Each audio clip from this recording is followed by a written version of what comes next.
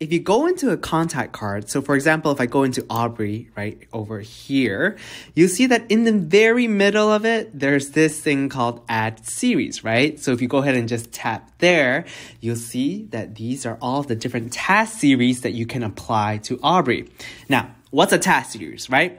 A task series is basically the, the same series of tasks or sequence of tasks that you keep doing over and over again. So for example, every time someone places an order with you, you have the same four things that you do for them, right? You say a thank you, follow up with them once they've ordered it, um, receive their order, and then check in and see how they like it, see if they need a refill, for example, right? So it's the same task that you do over and over again for many different people. So rather than having you to have to create it each time and create the task each time and then therefore it's very inconsistent, you can just simply create a new task series and then just apply it to your contacts, right? So now, for example, if I wanted to apply customer order follow up for Aubrey, so for example, she just placed an order with me, I can just tap there and I'll see that these are the tasks that are in this series, right? And you'll see the first one is to say thank you. Second one will say, has the order arrived yet? And that is scheduled for seven days after the thank you. Then the next one is scheduled for two weeks after the check-in about the order arrival.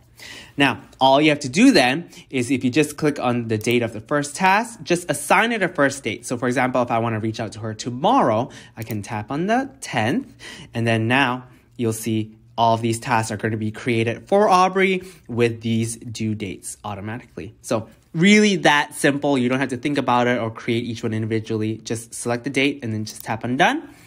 And you'll see all of the tasks are right there. You don't have to worry about forgetting about where they are in the process or what step they're on it's just all created here. And then you don't ever have to come back into this card. Her task will just appear in the home screen here. So for example, if I go to tomorrow, I'll see Aubrey is right there. And the most powerful thing about this is that each one of your tasks in your task series can have scripts attached to it. So now it takes it to a whole new level. I don't even have to think about what to write. I just tap on that script button whenever it appears. I just text it out to Aubrey right there. And then just go ahead and tap that next button there and send it out to her. And I'm done. Just like that. It took literally a few clicks and then I can just check her off. Now, if I go back into her card, I'll see that then the next time her she will appear on my home screen again will be on Wednesday, March 17th when I go and check in to see her if her order has arrived, right? But what if I've checked the shipping and I know that it's only going to arrive on the 19th, on Friday, right? I need to adjust all of these so that it's two days later. So all I have to do is just go ahead and tap on the task itself. And then from here, just go ahead and adjust the date to two days later.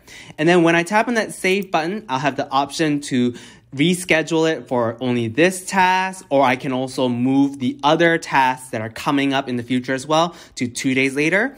Or I can actually move all the tasks to two days later, including the ones before this. But in this case, most of the time, you'll just be using this and all following tasks. So I'll just tap there. And then you'll see all of them have been adjusted by two days and it's just that simple. So from now on, all of your processes and the amount of work that you have to do has just been cut down drastically and everything will just take only a few clicks just with Dough.